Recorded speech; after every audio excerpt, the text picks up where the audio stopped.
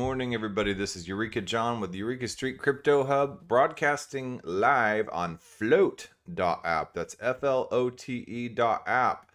Um, switching it up this morning. I have been broadcasting live on YouTube for the past week and a half. And before that, I was broadcasting live on Theta Network, but I've been having a lot of buffering issues and issues going on with Theta Network. So I switched to YouTube because it was an easy fix but I don't really like to broadcast on YouTube because they are the giants, the tech giants. They are the ones that they're the worst offenders at censorship and uh, they're completely centralized. And as a good crypto citizen, I try to stay decentralized and uncensored as much as possible. Um, so I'm exploring other options, and Flote.app has a live streaming option. And uh, you can see right here, let me go to the Flote.app homepage. And uh, yeah, you can see right here, this is just basically like a Facebook slash Twitter slash, you know, uh, yeah. And uh, it's, I, I think they're working towards decentralization. I think they will be coming out with a token. But in the meantime, this is the beta.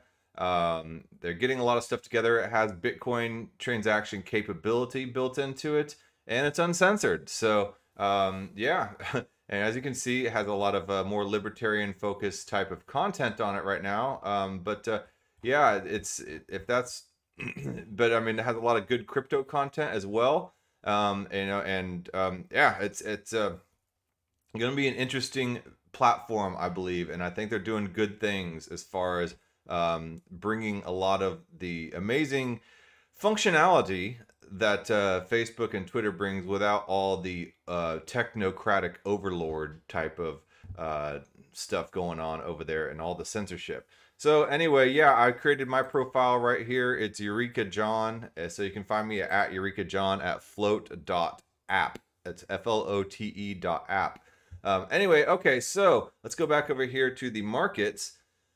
And um, let's take a look at where we are at CoinGecko. This oh, by the way, this is uh, it's 7:31 in the morning. It's October 2nd, 2021, and uh, this is my channel, Eureka Street Crypto Hub, and I'm Eureka John. I do this every single morning, and um, yeah, this is just my video blog, and I just document my journey through the crypto space and everything I'm learning. I'm not here to shill any products. I'm not sponsored by anybody. I'm not here as your financial advisor. Um, so don't take anything that I say as financial advice because I'm terrible at finances myself. and then number three, I'm not your teacher. I'm not, this is not some kind of guide or instruction or anything like this. This is just me kind of going over stuff that I'm learning. And that's, that's it. Um, so yeah, take it for what it is. Um, all right. So apologies aside. Um, let's go take a look at Bitcoin here. Um, we have Bitcoin sitting at $47,844.37. Uh, everything's looking pretty green. Um, and, you know, September is like one of those months, man. And let's take a look here at this past chart. I think I bookmarked it over here on the, the Twitter space. I mean, I do use Twitter. You know, I don't use Facebook anymore, but yeah, I don't think anybody really uses Facebook anymore, as far as, as far as I know. Um, except maybe it's just some people that I knew, like you know, ages ago in high school. so I don't know. Um, all right, so um, historical monthly returns of Bitcoin. All right, so let's look down here at September. As you can tell, September has always been kind of crappy.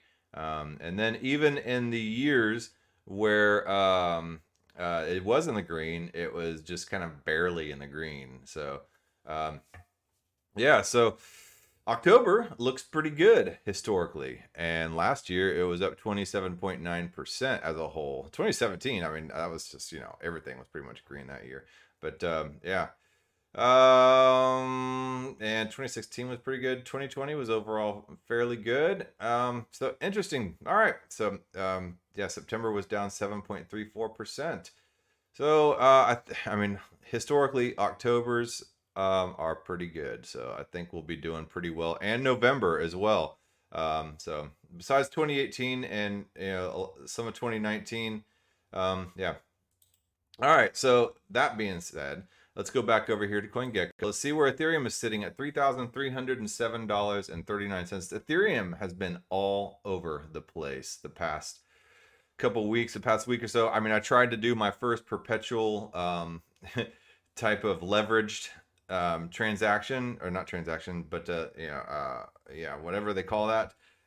See, obviously, you don't want to take my financial advice. Anyway, I did this right before it dipped down to 2750 something and my liquidity point was 2788 2788 and so i got liquid you know li- liquidated of like $200 but it was my first time ever to do leverage and to try out some of these type of long shorts you know leveraged uh, perpetuals type of stuff i was just kind of playing around with these instruments because i believe that you learn by doing and um, so I was just all right, you know, I've read all about these perpetuals and stuff like that, and I've read all about leverage, but I've never really done it. You know, I was like, I don't. It's not really my shtick. I don't really want to do it, but I'll I'll give it a try just so I can say I've done it and and to to learn how it works. And uh, and I did. I learned how it works. You know, so I lost two hundred bucks that way. Um, and now I know how perpetuals work. Um, if you you know you do a long and i longed at the wrong point because you know i'm perpetually bullish on web 3.0 technology and you know blockchain 3.0 technology and all this fourth industrial revolution in a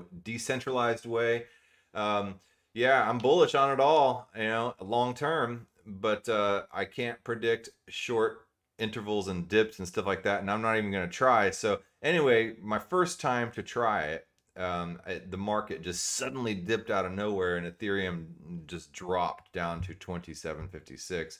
Um, and it was at like 3100 or something whenever I put in. So, yeah, who would have thunk, right? Um, anyway, so it just goes to show I don't need to be doing that. Um, so Cardano is at 223. Uh, Tether's a stable coin. Binance 426.25. XRP at $1.04. Solana 159.57. Polkadot 32.30.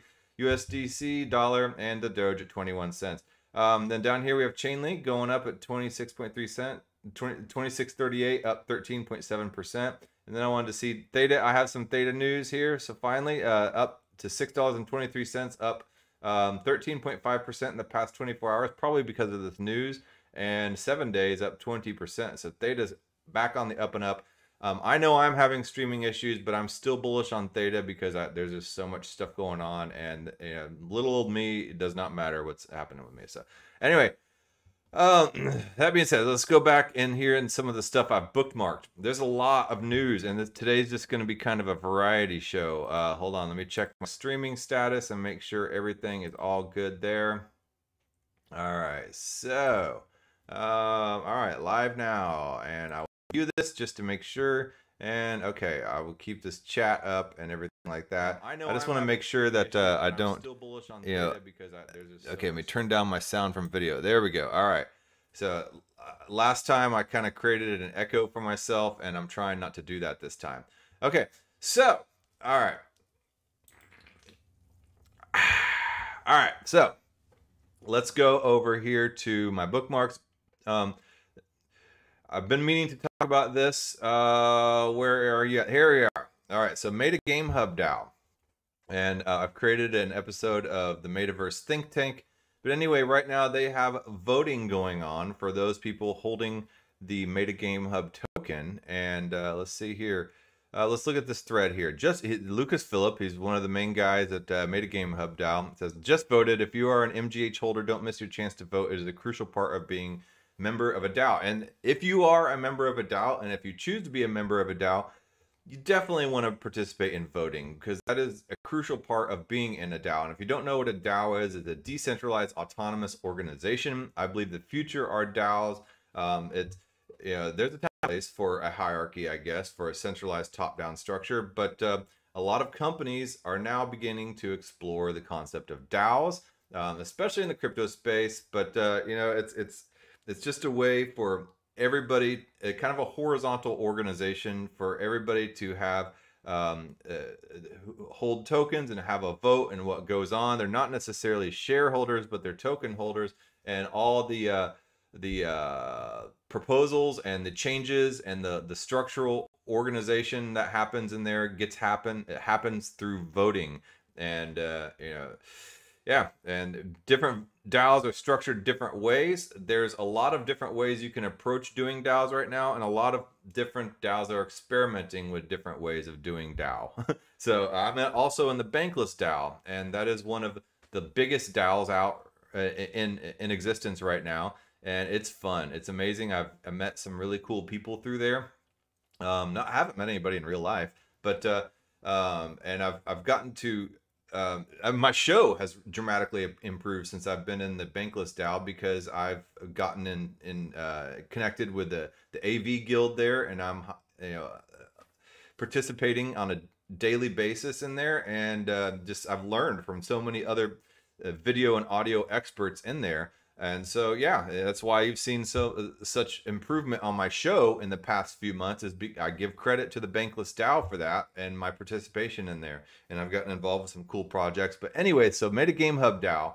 Um, this is another DAO in which they are all. Um, it's people here. Let's go to their website. Let's take a quick look, and uh, they are experimenting with the idea of um, providing virtual real estate and NFT valuation, and a way to do that that's um, objective, uh, because NFTs are hard to value. How do you value an NFT? An NFT, if you don't know, is a non fungible token, and it's a one of a kind type of item. A lot of times, it's been connected with art, but um, you know, it, it can be connected with basically anything that is unique. And in this case, um, a lot of virtual real estate on Sandbox and Decentraland and you know, a, a, lot of these other platforms, Somnium Space, Crypto Voxels, a lot of that real estate is becoming very expensive. And this is kind of a way for people to combine together as a DAO and to buy these lands and build them out,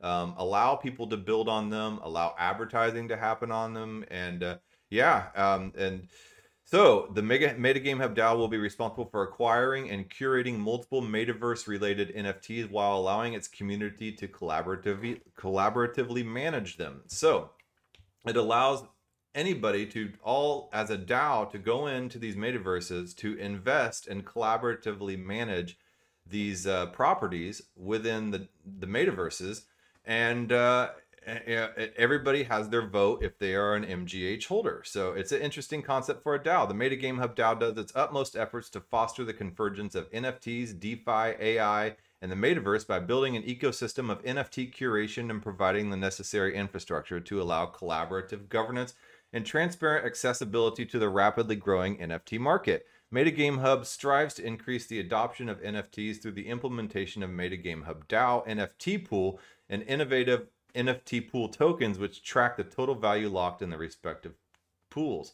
So, uh, the, what has Metagame Hub trying to solve? The current NFT market is lacking key infrastructure in terms of liquidity, pricing, and utility. It is hard to figure out what an NFT is worth, and a lot of people are poking in the air at it.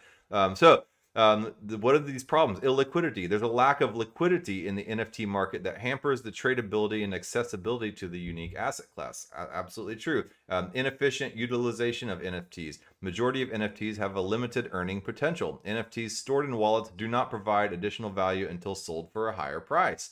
Okay, and then inaccurate NFT valuation, intransparent inflexible and fragmented, emotionally driven due to lack of valuation models. And I think that's absolutely true right now. What's going on with all this NFT hype and basically just, you know, tons of artists just dumping their crap into the NFT space and just making anything that they make into an NFT. We're going to have the floor drop out and then, you know, uh, well, I don't know if there is a floor, but we're going to have a lot of these NFTs just being shaken out. And th- there's going to be some that stay around but um, this this will pass, and you know, it's going to be kind of called the NFT bubble or whatever it is.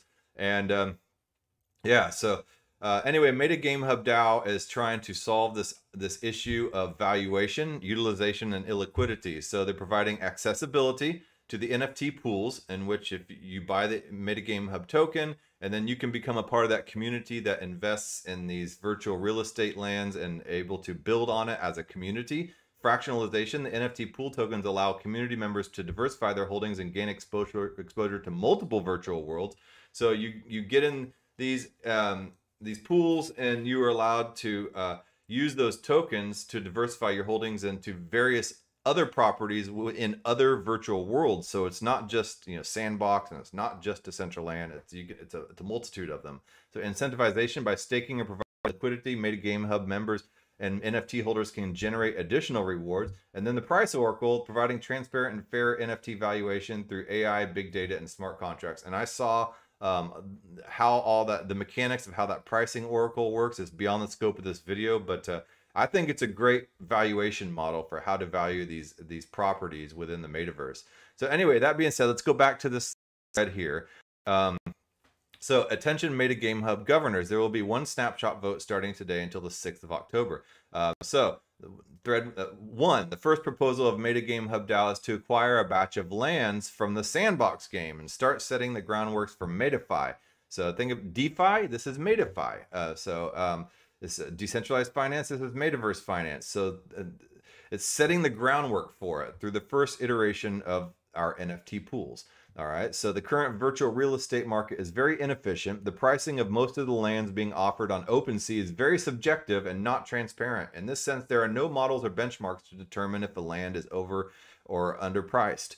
And that's true. You know, you go into OpenSea and you look at all these lands that are available to buy um, on OpenSea, and the, it's just all over the place. There's really no rhyme or reason for it. It's just kind of whatever you know somebody thinks it somebody might think yeah whatever point you know point zero zero five ethereum and somebody else like this land is worth 10 ethereum. Yeah, anyway to solve this issue metagame hub came up with a valuation model that uses on-chain data a neighboring weighting algorithm and machine learning methods to find a fair price for the lands being analyzed. And like i said i've seen this the mechanics of this model and it, it i think it's very objective. Um so all right so um after screening 1,000 plus lands currently listed on OpenSea, we cherry picked three parcels which are priced below the estimation of the model and are very well located.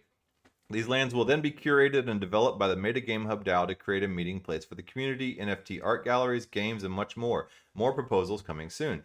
The purchased lands will also be the first parcels to be staked in our NFT pools, and this will then allow the users of the Metagame Hub platform to have exposure to the sandbox ecosystem without owning any lands. All right.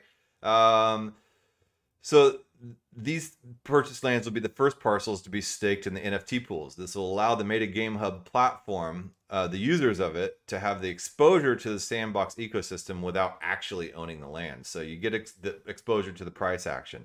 So um, this is possible thanks to the way the NFT pools work. When a land is locked in the pool, the user mints ERC20 tokens called NFT pool tokens the MPTs is what they're called, that replicate the value of the land being staked in the pool. These tokens can then be freely traded in the market. So in a, uh, in a way, I mean, are they kind of like synthetics? Yeah, um, it sounds like it. Um, the NFT market is currently lacking liquidity and transparency. With the implementation of our pricing algorithm, the NFT pools and the respective MPTs we strive to set the groundworks for the metaverse finance and boost the adoption of the metaverse with solid NFT infrastructure. And then here's a link to the document with all the lands that were analyzed with a forecasted price and suggested action. Feel free to reach out to us if you have any questions. And then I will link this thread. Uh, we don't need to be going through that, that spreadsheet right now, but let's take a quick look at this snapshot. And snapshot, if you don't know, is a way that DAOs vote. Um, it's it's uh, it's it's a platform that allows DAOs to vote. And uh, I've used Snapshot and Bancor, I've used Snapshot and Bankless, and I've used I've used Snapshot and uh, Metagame Hub. So um, let's go here, and I'm not I can't remember which wallet I have that uh, has these MGH tokens. Uh, shoot, hold on, let me put in my, my password. All right, so let me unlock my wallet. All right. Okay, so um, yeah, I can't remember which which wallet I have that has these in it, but um, I will just try this one and see if I have a winner. Eureka! All right. oh man. All right. So uh, let's take a look here. Um, go in here, and this is how Snapshot works. If you're in a DAO, and it basically it just gives me three options, and and then I get to just cast my vote with the Metagame Hub tokens that I have, the MGH tokens. And so far, it looks like Land 1 um, is in first place right here, as you can see, with 51.36% of the vote. And it shows all the people who have voted here. Um, I, I, voted for Land 3 um, because I, I liked it, I guess, the best. I mean, really, honestly, they, they're all good choices. Um, I just, yeah. Okay, I'll show you, and just so you can kind of see. So OpenSea land.io is an NFT marketplace, if you don't know. And uh, there's all types of stuff on here from domain names to art to virtual land. And this little orange box here is one that they're proposing for land one, right next to the sandbox. Sandbox owns all these squares. Um, so, you know, and right now the highest offer is 0.332, which is a thousand dollars and 94 cents. Um, so let's go back into the uh, snapshot. Where'd you go, snapshot? Um, okay. Come on now. Um, man, where? Uh, did it not open and did it? Well, okay, here we go. Uh, all right, so let's go back into here. All right, so let's check out land two. I will open a new tab this time. okay, and then I will go ahead and open land three in new tab just so you can see. All right. So, um, land two. This one right here. Um, this one says make offer. So it's currently not up for sale, I guess. Um, all-time average price is 0.4522 Ethereum, so it's a little bit more expensive. And this one um, has some unoccupied neighbors around it, but around here we have the sandbox, we have Atari over here, and uh, several of these others that I don't recognize. But uh, okay, um, and then let's take a look at land three real quick, and let's see. 0.9 Ethereum uh, $2,967.97. Um, and let's see, right here, this orange square. And Pong is right here, Tesla, the sandbox. Um, yeah, so there's uh, FTX exchange. A lot of these, it's, it's in a nice neighborhood. so anyway, so yeah, that's kind of why I voted for Land 3 because of its neighbors around here. Um, and uh, yeah, I don't know. Uh, maybe the kids want to go to a good school. All right. So anyway, that's that. So you kind of the idea. This is how voting and DAOs work. This is part of being in a DAO. And uh, yeah, if you're going to join a DAO, participate. You know, vote. Um, jump in and see how you can help. Don't extract value. Become value for the DAO, and then you will be rewarded in the end. So, you know, it's just the old same thing thing. You know, like don't expect a reward going into something. A reward will be given to you uh, based on what you're able to contribute. And uh, you know, it might just be, you know, just like for instance, people jump in the bankless DAO and they're like, uh, what can I do? I'm like, well, you can start by taking notes in meetings and then posting those notes. Those are helpful meeting notes. You know, um, I started by just recording the meetings on the recording the audio audio of the Discord meetings. You know, there's a lot of ways you can start contributing, and if you just hang around, uh, you'll you'll see you know where you can pick up the mop and start cleaning up the the dirty spots. You know, that's just with anything in life, not just DAOs. Just hang around, and you'll be put to work eventually. Yeah. so I mean, I, even at my old corner store in my old shady neighborhood that I used to live in, you know, the the there was this homeless dude that would always just sit around and hang around on the on the in front of the, the store. Well, the owner didn't call the cops on the guy. The owner gave the guy a a, broom and just asked him to sweep the front and you know he paid the guy a couple bucks you know for doing that and just keeping the keeping the front clean and hey you know bam and so i'm not saying you're a homeless person you know just jumping into that but you'll find something to do the longer you hang around something. so, all right. Anyway, that's enough moral life lessons for right now. Um, let's let's go back um, over here and look at some of this other news. So here, speaking of NFTs, Twitter um, has bragging rights. Twitter previews verification badge for NFT profile pics. So this is really good for Ethereum. This is really good for NFTs. Um, Twitters will have the option to set crypto collectibles as their profile pic to impress everybody. And okay, I thought this was total BS. Like, who would sit there and try to use you know, uh, NFTs as clout, as so superficial? Uh, I underestimated the superficiality of people and and the, the the the flex that people want to try to so I mean, I'm talking about negatively. It is it's just fine. I'm not judging somebody wants to do that, but uh, um, it just shows. And if people want to flex on their their profiles, these NFTs and it kind of shows that they're an OG. Uh, shows that they might be into something. I mean, why do people put bumper stickers on the back of their cars? I mean, you know, yeah, marathon runners, you know, 26.2 or whatever that is, you know, then that the half marathoners and you know, uh, and, then you see skateboarders put things on the stickers on the back of their car, and it shows that they're a skateboarder. You know, like I, I don't know. So Twitter has unveiled an in-development tool that will enable users to display a verified non-fungible token as their profile pic. Um, Mada Aflak, a senior software engineer at Twitter, shared a video demonstrating functionality that allows users to add NFTs to their accounts. Users can simply edit their profile, connect a cryptocurrency wallet, and import their OpenSea collection. And I just showed you OpenSea.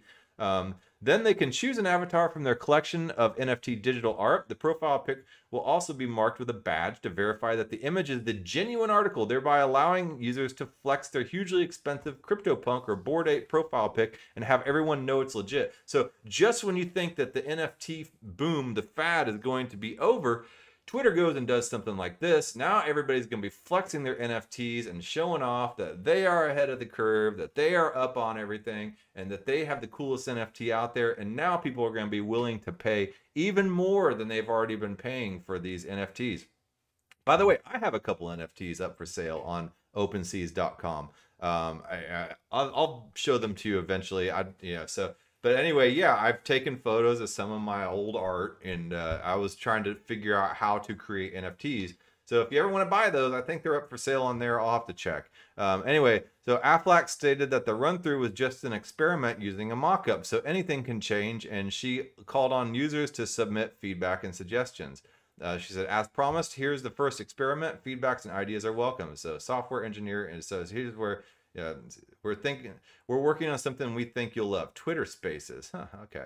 So anyway, with a verified profile pic is generated while the verified profile pic is generating all the excitement so far, Messari research analyst Mason Nystrom speculated on other potential applications of Twitter integrating crypto wallets because Twitter also just integrated the Strike wallet, which is a, a way to allow for people to tip Bitcoin back and forth to each other. And this has been very bullish.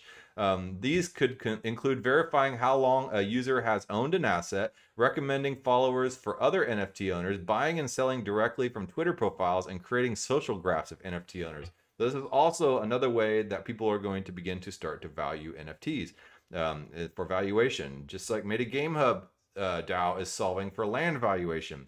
Um, it's the latest crypto-friendly move from Twitter, which last week integrated Lightning Network payments with Twitter profiles, enabling users to send and receive Bitcoin for tips or other payments. Twitter CEO Jack Dorsey has been a long supporter of Bitcoin and promoting it via the platform. Dorsey also famously sold the first ever tweet as an NFT. OpenSea saw a gigantic $4 billion worth of sales in August, but sales pulled back in September with around 2.4 2.45 billion sales in the past 30 days. Well, September was a bad month um, as far as crypto uh, cryptocurrency industry as a whole. So you know, a lot of people were losing money and were in the red, so they weren't really in the market to go just dump a bunch of money into NFTs. But I think that's going to change with October, and especially now that Twitter is going to be um, allowing verified NFTs as profile pics. Um, this is I got to hurry up and get some more of my stuff. Maybe you see these uh, these day to day art things Saturday, Monday, Tuesday, Wednesday, Thursday, Friday, Saturday, Sunday that I'm putting up um, to show the day on my videos. Um, I've made paintings of all those because I make paintings with my kids because they love it. And uh, um, maybe I should take some of these and put them up as NFTs. I mean, they'll be crappy. And look, sat turd. Hey, I mean, they'll be turds, you know. but somebody might buy it. You know, it'll help support the channel, right? I'm not really into bumming money but um, uh, for to try to get the to keep the channel up because I don't want to be beholden to anybody. But it might be a good way if somebody wants to contribute to the channel, they could buy an NFT um, of these day to day art pieces, and uh, yeah, who knows? Um, so I will put those up, and uh, we'll see. All right.